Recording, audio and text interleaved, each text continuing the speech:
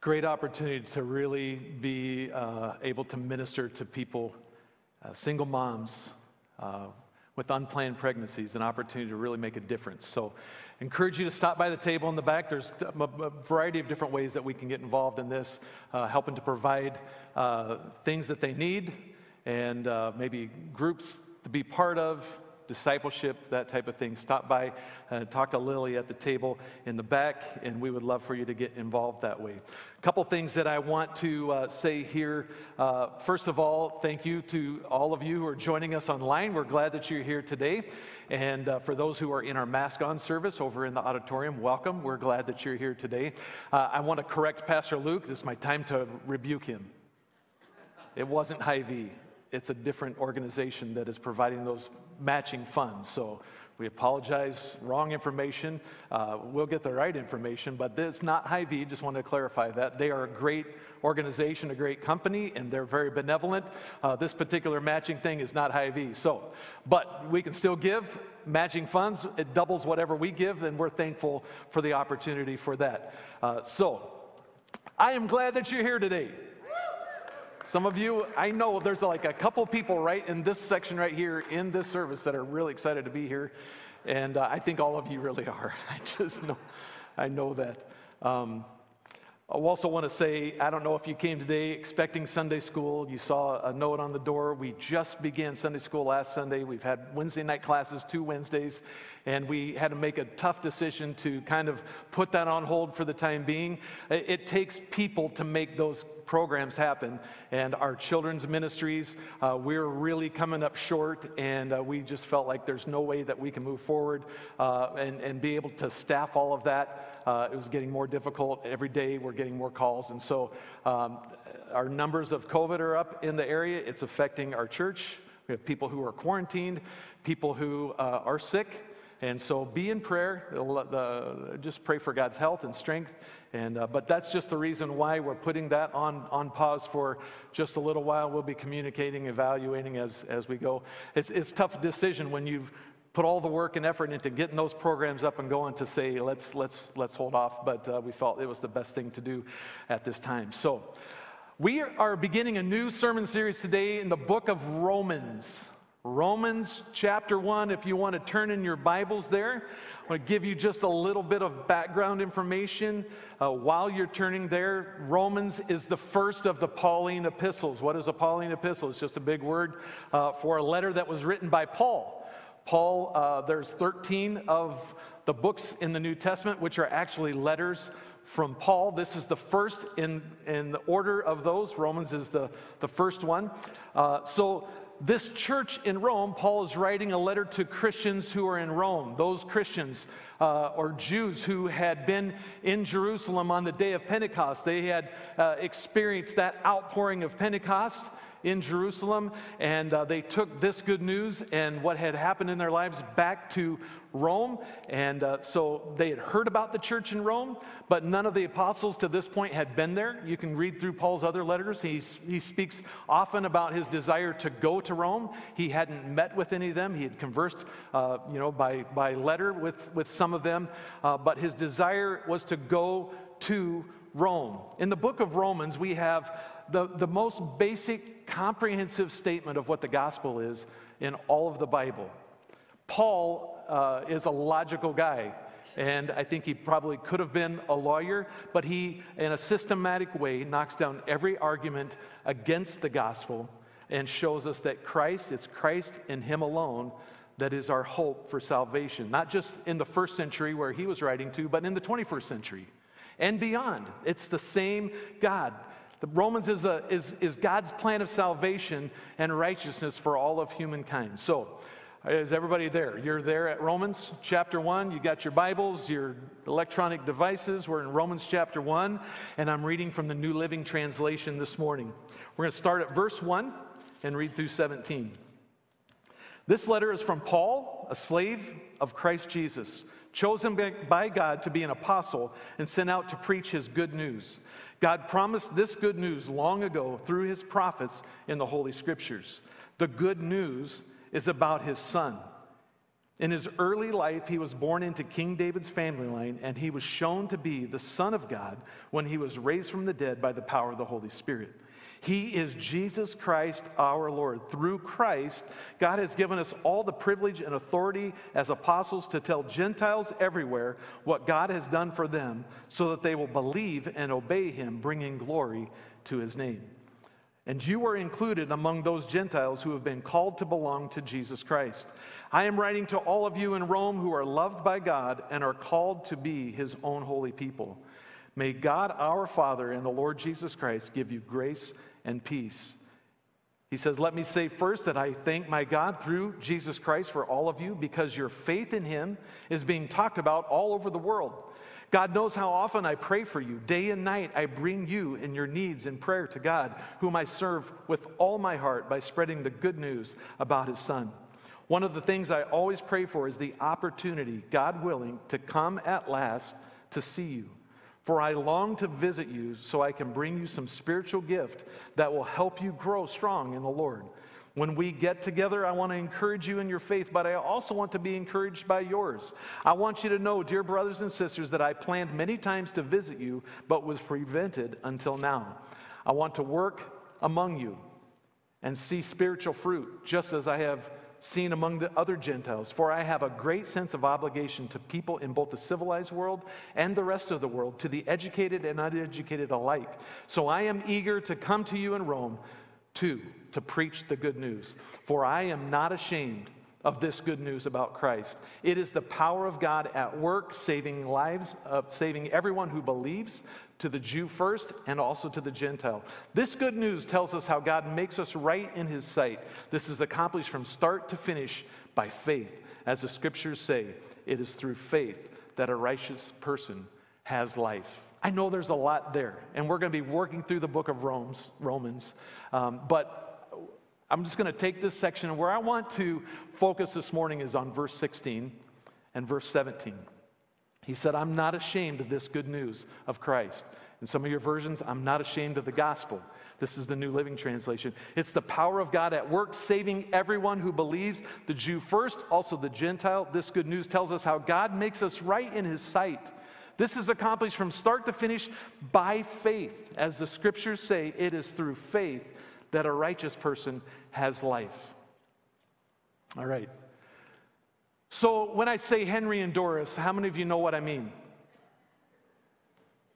Raise your hand high if you know what I'm talking about. How many of you do not know what I'm talking about? All right. Well, you're going to be educated this morning. So, my wife and I, for the past 30 years, have played these characters that dress up in polyester, of all things. And uh, we are the spiritual pillars of the church when we, when we get into costume.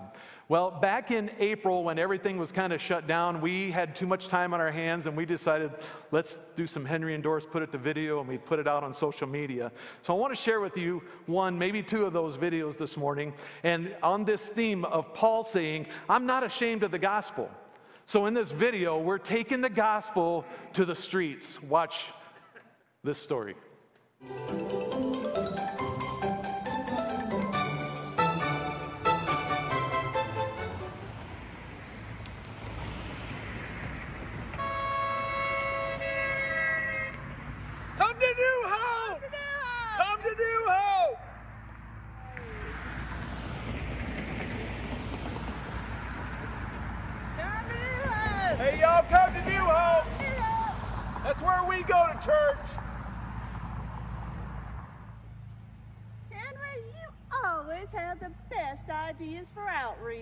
I just love evangelism, Doris. Yeah, Getting out and taking it to the streets.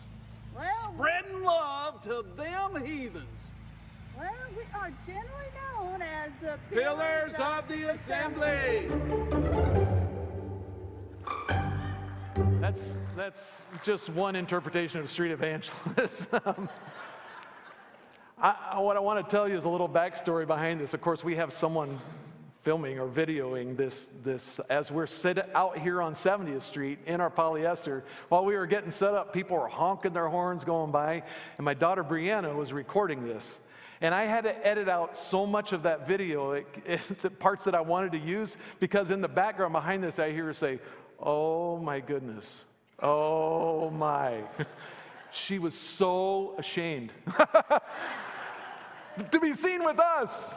I'm thinking, you know, it takes a lot of guts to put on bright yellow pants and go sit out on the street and wave and yell at cars. But that's what we do for the gospel. I, I, would have to say, Henry, as Paul would say, I'm not ashamed of the gospel. Well, I've got one more video if you want to see it. Anybody up for another one? Okay, this is another one of my children, and it will just obviously highlight to you uh, being ashamed or embarrassed. Here we go. No yellow pants this time. This is back when we were recording we're here our services online. They're recording for Sunday morning. Just stopping by to see if they might not need our help.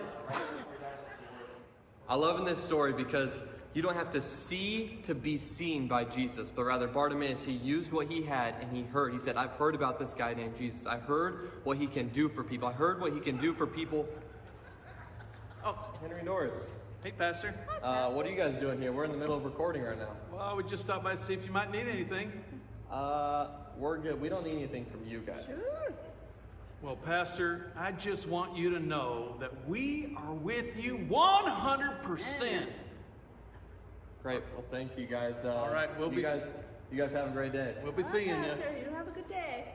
I'm glad they are not my parents. Wait, what? What'd you say, Pastor? Uh, nothing. I was just telling everybody that I think you guys are out running errands. Oh, oh. you, Have are probably day. right. See Enjoy you, the errands. For those that don't know, that's my oldest son. So, yeah, glad they're not my parents. Is there anything that you're ashamed of? Embarrassed about? Talking about Henry and Doris reminds me of an experience I had probably 15, 16 years ago. And our children's pastor at the time was Bud Fortney. He's a tall, bald headed guy, six foot six, pretty intimidating guy. But he, he had uh, this character that he played called Richie. And Richie uh, was a young, kind of a squirrely kid who had pants that were super high water and just a goofy, squirrely guy. And uh, so he played that character. And we thought, hey, this would be fun. We can dress up in our costumes, Henry and Richie, and go pick up his daughters from school. So at the time, Kristen, their oldest, was in high school, and um, Cassie was in middle school in Johnston when the middle school and high school were right next to each other, right on Northwest 62nd Street. So we drove up to the school afterwards and we were going to pick them up. Well, middle school gets out first, and we're standing out there in the parking lot in between the two schools, and we're just waiting for. Uh, for Cassie to come out the door. And once she walks out the door, we start yelling her name, and we're all in costume, standing out right in front of everybody. And we're saying, Cassie, over here! Cassie! She looks, looks, sees us standing there, and she just lets out this, That's my dad! That's my youth pastor! She was so excited that we were there and we were calling her. She was so excited to be identified with these two goofy characters. Not what we were expecting kind of pop the, the air out of our balloon, so to speak. So we wait a little while, and high school lets out, and we wait for Kristen to walk out the door. And uh, here we are just standing there, and uh, we see Kristen walk out the door, and we do the same thing. Hey, Kristen! Kristen! And she looks, and she sees us, and it's like this look of horror, like, she puts her hand over her face, turns like this, and walks straight back into the school. I don't know why. We waited for quite a while until I think every other student had left the school before she actually came out of the building. I realize that there's something different between a middle schooler and a high schooler. But it seems like as we get a little bit older, we get a little bit more sophisticated and we might be a little more ashamed of some things. We learned that. I wonder how many of us can truly say, as Paul said, I'm not ashamed of the gospel. For it is the power of God that brings salvation to everyone who believes. Can we say, as he, as he did, I'm not ashamed? To be ashamed is to be embarrassed, to be humiliated, to be mortified, apologetic, or regretful. But Paul says, I am not ashamed. And what he's saying is, I'm proud. I am unashamed, I'm bold, and I'm confident with the message that I have. And I say that in a day where uh, there's all kinds of evil and wickedness coming out of the closet, I think it's time for the people of God to come out from under their rocks, to stand on the rock and proclaim, This is who I am in Christ. And let's stand up and be bold for the truth in the gospel of Jesus Christ. Are you with me today? Can we say, I'm not ashamed? Two weeks ago, I preached about God being omniscient and omnipotent, that God knows everything and that He can do anything. There's nothing that God doesn't know, there's nothing that He can't do. And He's given us power through the Holy Spirit the Holy Spirit that lives in us, the, the same Spirit that raised Christ Jesus from the dead, lives in us as Christians, as believers. And He gives us power for salvation, He gives us power for living holy lives, and He gives us power to witness. Acts 1 8 says, You will receive power when the Holy Spirit comes on you, and you will be my witnesses. Jerusalem, Judea, Samaria, and the very uttermost parts of the world. And I said that to be a witness, all you have to do is tell what you know. Tell what you've seen, tell what your experience is. That's really what it is to be a witness. And I talked about outrageous candy bars. How many of you remember me talking about that? One person. Angelia, thank you. Out, this is yours, Angelia. Here you go. See? See how easy it is? You just talk about something and witness, and somebody says, Liz, I'll take that. It's a free gift from Jeff. Thank you, Jeff. You're welcome. I'm telling you, when you're a witness and you give testimony to something that you've experienced, especially like a great candy bar, I'm saying that this is the greatest candy bar. If you love peanut butter, it is the greatest candy bar that you would ever sink your teeth into. It's got Reese's peanut butter wrapped with caramel, and then on top of that is chocolate with Reese's pieces. Mmm. How many else? How many else want to be?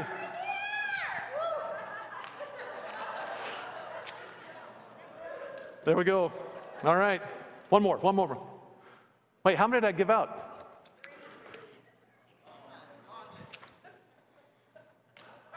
Thanks, Luke. All right. Now, it's easy when you experience something that is amazing, that's great. I mean, it's just easy to tell people about what you know, right? Easy to tell people what, you what your experience has been. How many of you are a follower of Jesus and you've been saved through Jesus, what he did on the cross, and you've, you've been saved, you've been set free, and you are a follower of Jesus? Okay? All right. How many of us tell, tell about that? How many of us share our faith? We say that we're not ashamed. I think that we want to say that I don't want to be ashamed, but do we get as excited, as bold, as confident about sharing about our food experiences or uh, as we share about our sports team or politics or whatever it might be when it comes to sharing our faith? Why don't we share our faith the same way? I've just got four points that I want to share with you this morning, and it comes right out of this verse 16. Paul says, I'm not ashamed of the gospel, for it is the power of God that brings salvation to everyone. The first point is this not ashamed. Paul says, I'm not ashamed of the gospel. What a testimony. I'm not ashamed. Why would Paul even think about or consider or be tempted to be ashamed of the gospel? Well, I'll tell you why. He is writing a letter to Rome. He's from Israel, right? Paul is uh, writing this letter to Rome, which is the capital of the world, the proud city of Rome, uh, the capital of the world in his time uh, was home to some of the, the great philosophers, and they had innumerable gods. In Rome, they had gods for everything, every day of the week, every, uh, everything that you could think of. There was a place for a god. So they had all these gods. It was a little bit intimidating uh, when you talk about Paul, and Paul's talking about this good news. This good news was about a poor Jewish carpenter who had been crucified. This poor Jewish carpenter from the little country of Israel that Rome had conquered, one of the small countries that they had conquered. Um, and this was, this was crucifixion, the lowest form of execution reserved for the most vile of criminals. And he's telling this good news about this carpenter, this common, ordinary guy who was executed, crucified on a cross. So, why would they pay attention to a story like that? some carpenter that rose from the dead. Listen to what Paul says in 1 Corinthians chapter 1, verse 18. He says, The message of the cross is foolish to those who are headed for destruction. But we who are being saved know that it is the very power of God. That's what he's talking about. I'm not ashamed of this gospel. And he goes on a couple verses later in verse 20 to ask this question Where does this leave the philosophers, the scholars, the world's brilliant debaters? God has made the wisdom of this world look foolish. God says of himself in Isaiah 55, he says, My ways and my thoughts are so much higher than your thoughts ever can be. I want you to think about this. Paul was just a little Jewish tent maker going to the big city of Rome to preach a message like this is almost comical. Yet he says, I'm not ashamed. He was confident in his message. You know, there's some people in this world that ought to be ashamed. A rapist ought to be ashamed. A thief ought to be ashamed. A gossiper ought to be ashamed. Lying politicians in our government ought to be ashamed. Doctors who murder unborn babies still in the womb ought to be ashamed. Every single one of us ought to be ashamed of our sinful actions.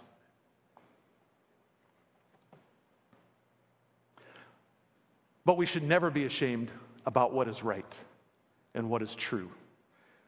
Jesus said in Mark 8:34, calling the crowd to join his disciples, he said, "If any of you wants to be my follower, you must give up your own way, take up your cross and follow me." If you try to hang on to your life, you lose it. If you give up your life for my sake and for the sake of the good news, you will save it. And what do you benefit if you gain the whole world but lose your own soul?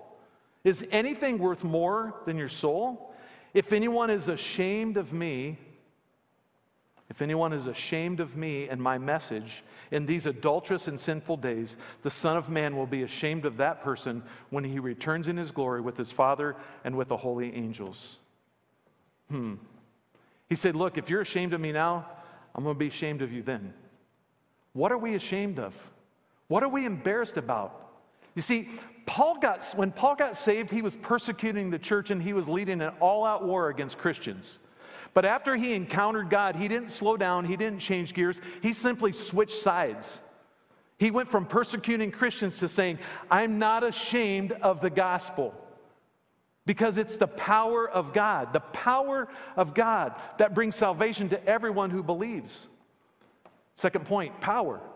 Rome was a powerful empire. They had built great highways and massive bridges. Their military was unmatched by any other in the world of that day. The Roman emperor was the most powerful person on the planet Earth at that time.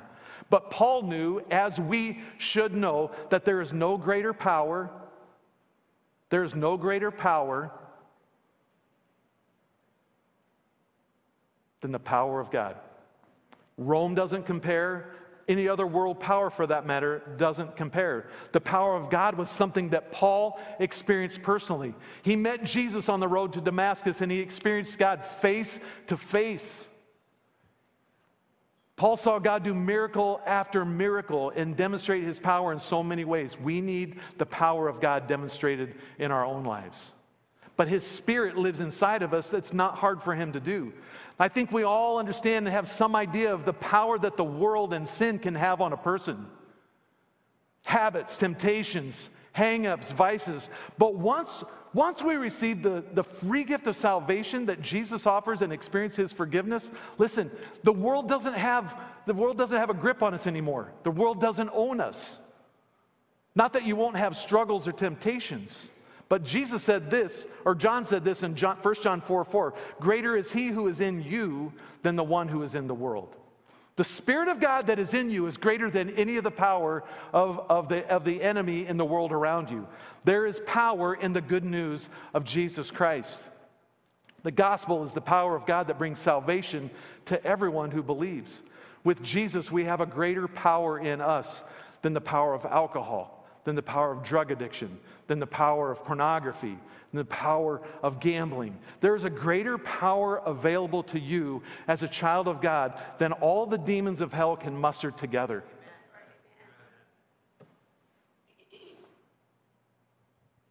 The power that's in you through the Holy Spirit is greater than all that the enemy can do all at once. That power is in us. That's good news. We are more than conquerors through Jesus Christ. Paul said, I'm not ashamed of the gospel, for it is the power of God that brings salvation to everyone who believes. The word for salvation is soteria, which means deliverance. You see, a doctor in medicine can help try to deliver you from sickness. But the gospel delivers you from the penalty and the power of sin, and it saves your soul. That's salvation. Every one of us is lost and condemned to hell without Jesus. And if we're going to be saved, our only hope is faith in Jesus. This is what Paul says in Romans 10 9 and 10. If you declare with your mouth, Jesus is Lord, you believe in your heart that God raised him from the dead, you will be you'll be saved. For it is with your heart that you believe and are justified, and it's with your mouth that you profess your faith and you are saved. I'm not ashamed of the gospel, for it is the power of God that brings salvation to everyone who believes. The word for everyone is a Greek word, a simple little three letter word, pas, P A S. Pas means all. It means all things, all kinds, all men, all people, any, any at all, anyone, anything, everyone, everything, every kind, every way, always and forever. The gospel is available to everyone. This little Greek word says that the gospel is not inclusive, it, it is not exclusive, it is completely inclusive, and it is available to everyone, everyone that will. The Bible says that everyone who calls on the name of the Lord will be saved.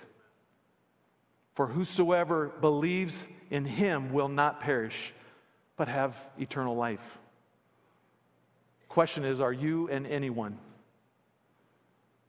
Anyone means any one.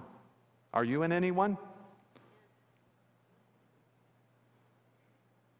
We're all anyone. The people that you live with in your home, they're anyone. The people that live in your neighborhood, anyone? The people that you work with, are they anyone? This message, this gospel is so inclusive, it is available to everyone who believes. Anyone can be saved. We just have to humble ourselves. We have to admit that we're a sinner. We have to admit that we're sinful we have to ask for forgiveness for our sins, but Paul says that the gospel brings salvation to everyone who believes. He says, Paul says this in Ephesians chapter 2 we are saved by God's grace through faith, by believing in Him. He says, you can't, you can't take credit for this. It is a free gift from God. Salvation is a free gift from God. You can't earn salvation, it's only through Jesus, and He offers it as a gift. Paul says in Romans 6:23, the wages of sin is death, but the free gift of God is eternal life through Jesus Christ our Lord. Free gift. I got, I'll, I'll save that till later. I'll, uh, uh, see if I can get more takers. Free gift. Why do we make it so hard? See, you may know about the faith, you may, may have seen the faith, you may understand the faith, but you don't have the faith until you receive the faith. You have to reach out and take the gift. You may not even really be able to say that you have a gift until you receive a gift. So if someone were to ask you, Did you receive a Christmas gift? and you say, Yeah, it's up in the room and it's still, still unwrapped, is that really your gift? You haven't really taken possession of it. What is it?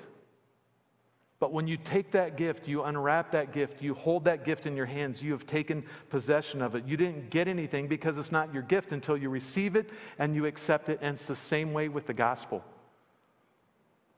If you don't know Jesus, salvation isn't going to come to you through osmosis. Salvation isn't come to you just because you're sitting in church today.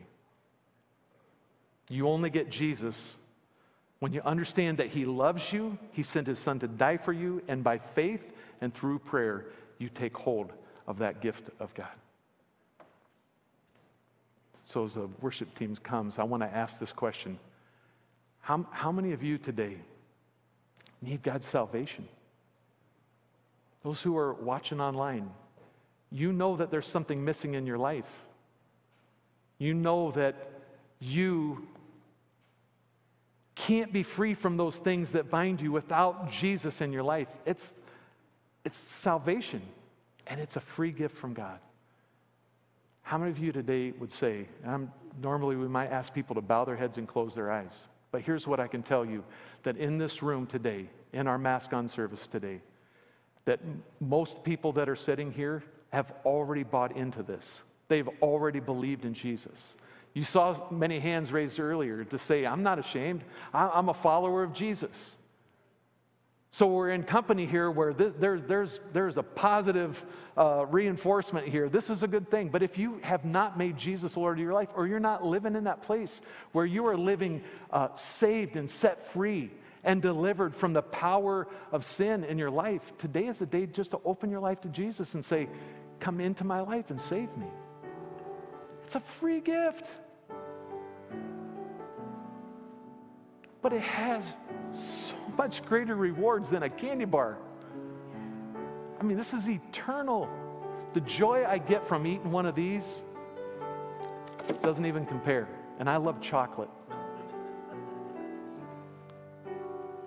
Anyone here today with everybody's eyes open, and you would say, just raising your hand, Pastor Jeff, I need God to save me. I'm just looking across the room, and if that's you, would you just raise your hand? I, listen, we're all for you. Every person in this room. I mean, if you raise your hand, I, applause is going to erupt here. Offering you something so great. It's amazing. The hope and the peace and the joy and the love that you experience through a relationship with Jesus. Is there anyone here, anybody watching online today? You just raise a hand where you are and say, I want Jesus. You don't have to jump through a hoop. All you have to do is say, Jesus, save me and forgive me. Give me what he's talking about. And he'll do that. Anybody here? Don't be ashamed.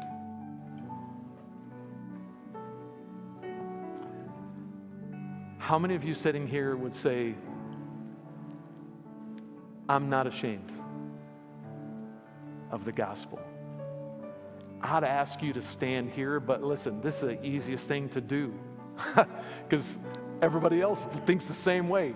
What, what, where the rubber really meets the road is out there. Are we not ashamed? How many of you say, okay, I may not be able to say I'm not ashamed, but I want to say, I want to be able to say, I'm not ashamed of the gospel. If that's you, would you stand today?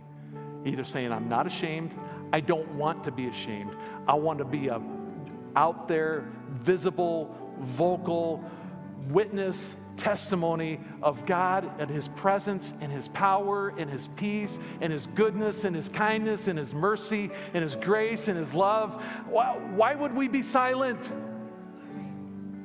We need, we need God to be magnified make him large in our lives. And to do that, we have, we have to decrease so that he can increase. This is a song that I want us to sing together that just is a testimony and a prayer of our saying, Christ be magnified in me. Listen, I'm going to tell you, Paul, who said, I'm not ashamed of the gospel, you can go read about him and the persecution that he faced. By standing, you're not saying, I'm looking for an easy road. This is not easy. It's not going to be easy persecution. You, you want to talk about persecution? There's Christians who are being persecuted and their lives taking hundreds of thousands a year across our globe. Are you willing to, to stand up and say, I'm not ashamed? Let's pray. Holy Spirit, rise up in me, be magnified in me. As we pray, and if you're watching, uh, joining us online, and you raise your hand, or someone here, uh, maybe you didn't raise your hand, but in your heart you're saying, I want Jesus.